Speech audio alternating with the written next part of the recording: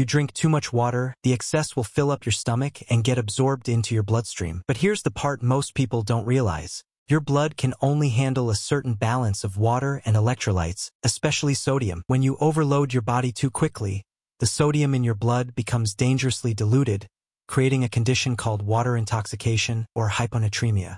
This imbalance pulls water into your cells, and your brain cells are the most sensitive as they swell. There's no room for expansion because your skull is a solid, closed box. That swelling pushes your brain against the inside of your skull, increases pressure, and starts disrupting vital functions like breathing, heart rate control, and consciousness. Depending on your size, if you drink around 6 liters of water in just a few hours, your brain could swell up so much that you could go into a coma and die. This is why doctors warn that even something as harmless as water becomes dangerous when taken in extreme amounts. How many liters of water do you usually drink per day?